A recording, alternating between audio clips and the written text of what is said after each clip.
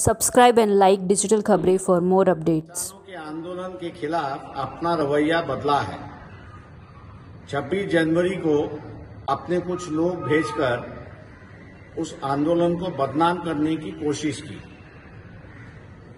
Delhi BJP प्रदेश से जो letter लिखा था कि आप कुछ भी करिए, आप पर कार्रवाई नहीं होगी ये आज दोबारा दिखने मिला है। उत्तर प्रदेश के नगर निगम के पानी के टैंकर ने महिलाओं पर वो टैंकर चला।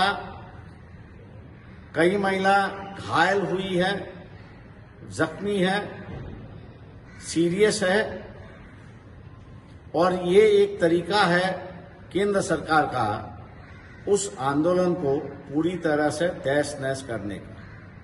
हम लोगों से आगाह करते हैं कि यह हिटलर की सरकार है।